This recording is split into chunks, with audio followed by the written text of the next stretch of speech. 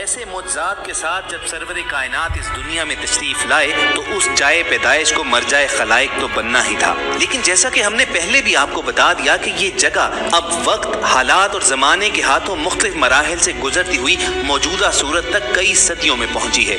अब ये घर नशेब में नहीं, बल्कि हरम शरीफ की हदूद में दरवाज़ा बाबू सलाम के सामने, पहाड़ के दामन में वसी और रीज खुले और साफ़ सुथरे मैदान में नुमाया तौर पर दो मंजिला इमारत की सूरत में मौजूद है। ना वो छोटे कमरे हैं, ना ही किसी जगह कोई चबूतरा मौजूद है। हरम शरीफ की जानब इसका बुनियादी दरवाज़ा है। जो ही इमारत में दाखिल हो तो एक वसी और दीदा जेब हाल, जिसके चारों जानब लकड़ी की शीशे वाली खूबसूरत अलमारियों में किताबें सजी हुई हैं, वो नज़र आता है। बिल्कुल सामने मुंतजमीन लाइब्रेरी की मेजें हैं, अंदर की जानब भी कमरे हैं, जिनमें लाइब्रेरी के अमूर की अंजाम दही की जाती है। इंतहाई बाएँ जानब लाइब्रेरी के मोहतमे में आला का दफ्तर है और इस मकतबा मक्तुल मुकरमा की छत पर नसब हसीन फानूस इसकी दिलकशी में और इजाफा करता है। जैसा कि वीडियो में पहले भी बयान किया जा चुका है कि रसूल करीम सल्लल्लाहु अलैहि वसल्लम की ये जाय पैदाइश यानी ये घर, अपनी असल हालत में नहीं है। वक्त, हालात और जमाने के हाथों एक से ज़्यादा बार अपनी जाहिरी शक्ल सूरत बदल चुका है। कभी ये मुकदस घर अपनी असल जगह पर कायम मस्जिद बना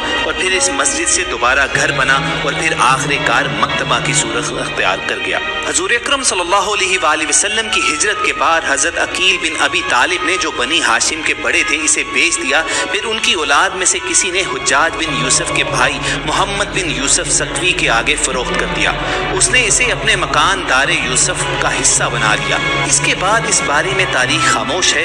अब्बासिया दौर में हारून रशीद की वालदा एक सौ इकहत्तर हिजरी में हज को आई तो ये मकान खरीद कर दार यूसुफ से अलहदा कर दिया और मौलद नबी सल्लल्लाहु अलैहि वसल्लम को मस्जिद बना दिया। इब्ने जुबैर उंदलसी ने अपने सफरनामे में लिखा है कि यहाँ खुशनुमा और नादिर मस्जिद बनी हुई है और इसमें सोने का काम है। जिस ज़मीन को विलादत के वक्त जिसमें अतहर ने मस किया, इसके गिर्द चांदी का हल्का है। पाँच सौ उनासी हिजरी के बाद वक्तन फवक्तन यमन और मिस्र के सलातीन ने इसकी मुरम्मत करवाई। दस सौ नौ हिजरी में सुल्तान मोहम्मद खान ने इस पर बड़ा गुंबद और मीनार तामीर करवा दिया। यहाँ एक मदरसा कायम किया गया। तारीख नन अलामा ताहिर कुर्ती तहरीर करते हैं कि तेरह सौ तैतालीस हिजरी में ये इमारत मुनहदिम हो गई थी, जिसे अशेख अब्बास बिन यूसुफ ने अपने जाती अखराज से तामीर करना शुरू किया था, लेकिन दो माह बाद ही उनका विसाल हो गया। चुनाचे उनके खलीफा और रशीद शेख अमीन ने काम मुकम्मल करवाया।